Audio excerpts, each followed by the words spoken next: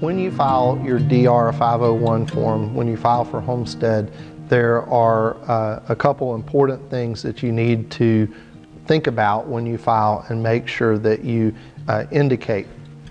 Uh, the main one is, is portability. Uh, portability is the ability to take your homestead savings from a prior home in Florida to your new home.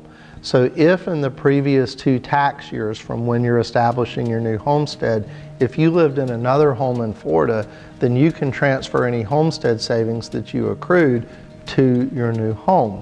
So remember the test is, let's say that you're filing for homestead uh, for 2019, so it's going to be effective on January 1 of 2019. We look in the two prior tax years, so that's 2018 and 2017. And if you had homestead filed on another home in Florida in one of those two years, then you are eligible to move the homestead savings from that home to your new home. You need to tell the property appraiser about it when you go to file the DR 501 form, and there's another form that you have to file. It's called a DR 501T, which means transfer.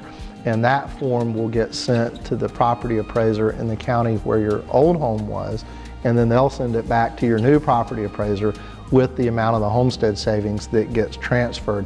And then you take that transferred savings amount, it subtracts from your assessed value on your new home and saves you that much on your property taxes. It's the whole reason that we have the whole part of our homestead checks that we check for accurate market value on your home so that you make sure that you're maximizing those savings.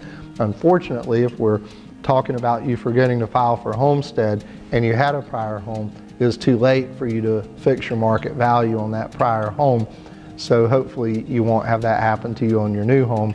The best way to make sure it doesn't happen to you is just sign up for homestead monitoring so that we run a homestead check for you every year and make sure that you have an accurate market value. So don't forget to uh, think about and check for portability. It's probably the most missed aspect of homestead filing, the place where people, uh, the most people make a mistake.